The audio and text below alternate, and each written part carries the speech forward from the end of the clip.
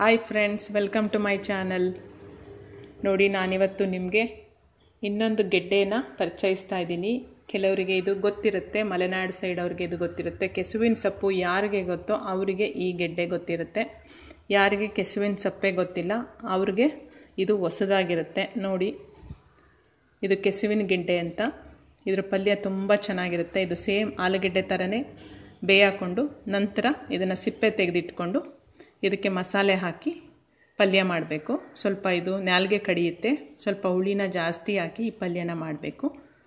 ನೋಡಿ, ಹೇಗೆ ಮಾಡೋದು ಅಂತ ತೋರಿಸ್ತೀನಿ. ಮೊದಲನೇದಾಗಿ ಇದನ್ನು ಕುಕ್ಕರ್ಗಿಟ್ಟು ಎರಡು ವಿಷಲ್ ಅಥವಾ ಮೂರು ವಿಷಲ್ ಹಾಕ್ಸಿ ಆಲೂಗೆಡ್ಡೆ ಸ ಥರನೇ ಸೇಮ್ ಸೇಮ್ ಆ ರೀತಿ ಸಿಪ್ಪೆ ತೆಗೆದು ಇಟ್ಕೋಬೇಕು. ನೋಡಿ ಇವಾಗ ಇದೇನಿತ್ತಲ್ಲ ಇದು? ಈ ಕೆಸುವಿನ ಗೆಡ್ಡೆ ಇದನ್ನು ಈ ರೀತಿ ಬೇಯಿಸ್ಕೊಂಡಿದ್ದೀನಿ. ನೋಡಿ, ನೀಟಾಗಿ ಬೆಂದಿದೆ. ಒಂದೇನಂದರೆ ಇನ್ನೊಂದು ಗಮನ ಇಡಬೇಕಾಗಿರೋ ವಿಷಯ, ನೋಡಿ ಕೆಸುವಿನ ಗೆಡ್ಡೆನ ಬೇಯಿಸ್ಕೋಬೇಕಾದ್ರೆ ನೋಡಿ, ಒಂದು ಮೂರಿಂದ ನಾಲ್ಕು ವಿಷಲ್ ಆಗುತ್ತೆ. ಸ್ವಲ್ಪ ದಪ್ಪ ಇದ್ದರೆ ಇದು ಟೈಮ್ ತೊಗೊಳುತ್ತೆ, ತಕ್ಷಣ ಬೇಯಲ್ಲ. ಅದಕ್ಕೋಸ್ಕರ ನೋಡಿಕೊಂಡು ಬೇಯಿಸ್ಕೋಬೇಕು. ಇದರಲ್ಲಿ ಮಣ್ಣಿರೋದ್ರಿಂದ ನಾವೇ ಇದನ್ನು ತೆಗೆದುಬಿಟ್ಟು ಈ ಕಡೆ ಇಟ್ಕೊಬಿಟ್ರೆ ಮಣ್ಣು ತಳದಲ್ಲೇ ಉಳ್ಕೊಳ್ಳುತ್ತೆ ಈ ರೀತಿ ಆಲೂಗೆಡ್ಡೆ ಆಗಲಿ, ಈ ರೀತಿ ಯಾವುದೇ ಗೆಡ್ಡೆ ಗೆಣಸನ್ನು ಬೇಯಿಸಿದಾಗ ಆ ನೀರನ್ನು ಅಲ್ಲೇ ಬಿಟ್ಟು ಗೆಡ್ಡೆ ಮಾತ್ರ ತಗೊಂಡಾಗ ನೋಡಿ ಪಾತ್ರೆಯಲ್ಲಿ ಮಣ್ಣಿರುತ್ತೆ ಉಳ್ಕೊಬಿಡುತ್ತಿಲ್ಲ ಅಂದರೆ ಮಣ್ಣು ಅದರ ಮೇಲೆ ಉಳ್ಕೊಳ್ಳುತ್ತೆ ಸಿಪ್ಪೆ ತೆಗಿಬೇಕಾದ್ರೆ ಅದ್ರ ಸಂಧಿ ಒಂದೊಂದಾದರೂ ಸಿಕ್ಕಾಕೋಬಿಡುತ್ತೆ ನೋಡಿ, ಇದೊಂದು ಟಿಪ್ಪನ್ನು ಫಾಲೋ ಮಾಡಬೇಕು.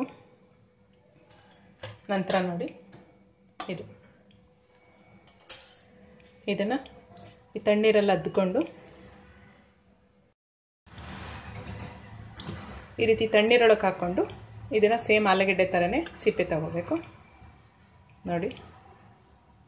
ಇದನ್ನು ಆರ್ ಬಿ ಫ್ರೈ ಅಂತಲೂ ಕರೀತಾರೆ. ದೊಡ್ಡ ದೊಡ್ಡ ಹೋಟೆಲ್ಗಳಲ್ಲಿ, ರೆಸಾರ್ಟ್, ರೆಸ್ಟೋರೆಂಟ್ಗಳಲ್ಲಿ ಇದನ್ನು ಬಳಕೆ ಮಾಡ್ತಾರೆ. ಕೆಲವರಿಗೆ ಗೊತ್ತಿರುತ್ತೆ. ನೋಡಿ. ಈ ರೀತಿ. ನೋಡಿ. ಸಿಪ್ಪೆ ತೆಗೆಯೋದು ಈಸಿ. ಹಾಗೆ ಇಲ್ಲೇನಾದರೂ ಇದ್ದರೆ ನೋಡಿ, ಈ ರೀತಿ ಅದನ್ನು ಅಲ್ಲೇ ಕಟ್ ಮಾಡಿಕೊಂಡು ಕ್ಲೀನ್ ಮಾಡ್ಕೋಬೇಕು.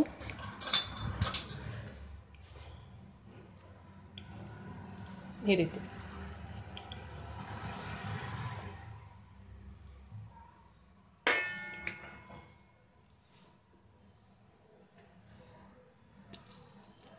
ನೋಡಿ, ಈ ರೀತಿ ಸಿಪ್ಪೆ ತೆಗೆಯೋದು ತುಂಬ ಸುಲಭ.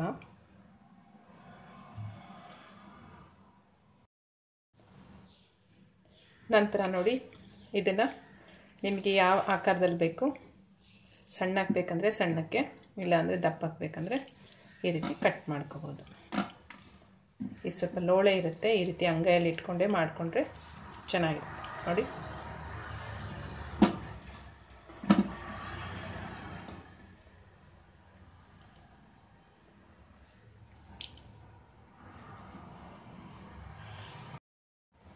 ನಂತರ ನೋಡಿ ಇವಾಗ ಇದನ್ನೆಲ್ಲ ಹಚ್ಚಿಟ್ಕೊಂಡಿದ್ದೀನಿ ಇವಾಗ ಇದಕ್ಕೆ ಇಲ್ಲಿಗೆ ಮಸಾಲೆ ಹಾಕ್ಕೊಳ್ಳೋಣ.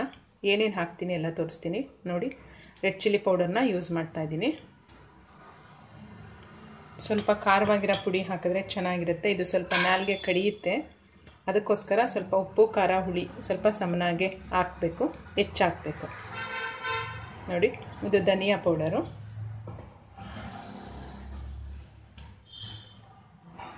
ನಂತರ ಸ್ವಲ್ಪ ಅರಿಶಿನ ಪೌಡರ್ ಹಾಕ್ತಾಯಿದ್ದೀನಿ ನಂತರ ಈ ಹುಣಸೆ ಹಣ್ಣು ರಸ ತಕ್ಕೊಂಡು ಈ ರೀತಿ ಹಾಕ್ಕೊಳ್ಳೋಣ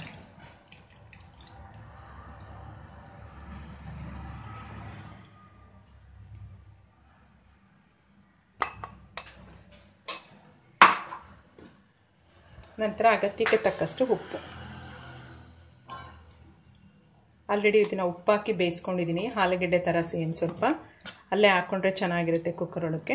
ನಂತರ ನೋಡಿ ಈ ರೀತಿ ಮಿಕ್ಸ್ ಮಾಡಿ ಇಟ್ಕೊಂಡು ಐದು ನಿಮಿಷ ಬಿಟ್ಟು ಇದನ್ನು ಒಗ್ಗರಣೆ ಹಾಕೋಣ.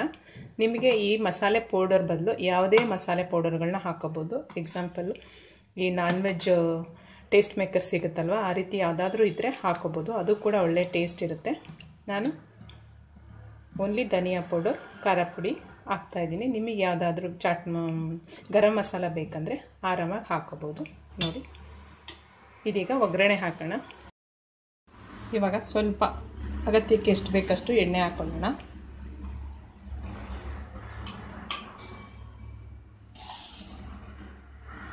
ನಂತರ ಸಾಸಿವೆ.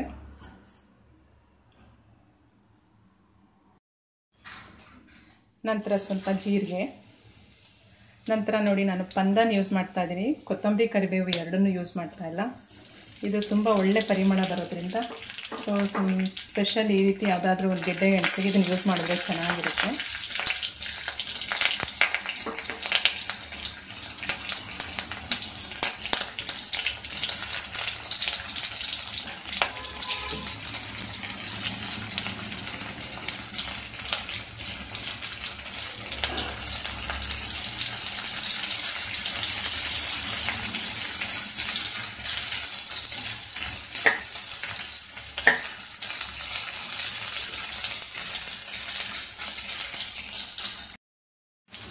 ಈಗ ನೋಡಿ ಒಗ್ಗರಣೆ ಆಗೋ ಬೆಂದಿದೆ.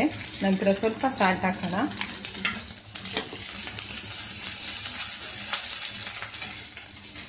ನಂತರ ಏನು ತೊಗೊಂಡಿದ್ವಿ ಇದು?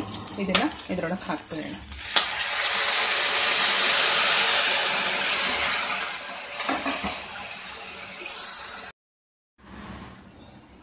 ಚೆನ್ನಾಗಿ ಇದನ್ನು ಮಿಕ್ಸ್ ಮಾಡೋಣ.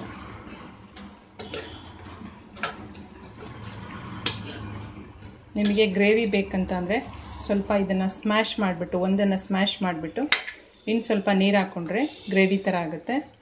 ಇಲ್ಲ, ಈ ರೀತಿ ಗಟ್ಟಿ ಪಲ್ಯನೇ ಬೇಕು ಸೈಡಲ್ಲಿ ನಂಚ್ಕೊಳ್ಳೋದಕ್ಕೆ ಅಂದರೆ ಈ ರೀತಿ ಪಲ್ಯ ರೆಡಿ ಆಗುತ್ತೆ ನೋಡಿ.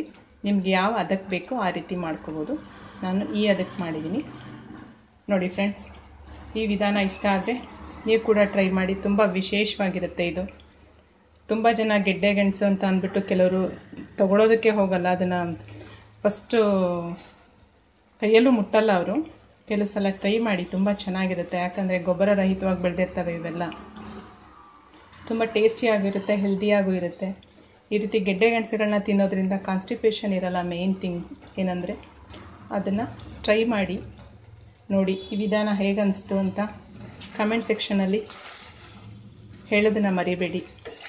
ಇಷ್ಟ ಆದರೆ ಒಂದು ಲೈಕ್ ಮಾಡಿ, ಶೇರ್ ಮಾಡಿ, ಕಮೆಂಟ್ ಮಾಡಿ ಅಂತ ಹೇಳ್ತಾ ನಾನು ಈ ವಿಡಿಯೋನ ಮುಗಿಸ್ತಾ ಇದ್ದೀನಿ. ವಿಡಿಯೋ ನೋಡಿದ್ದಕ್ಕಾಗಿ ಧನ್ಯವಾದಗಳು.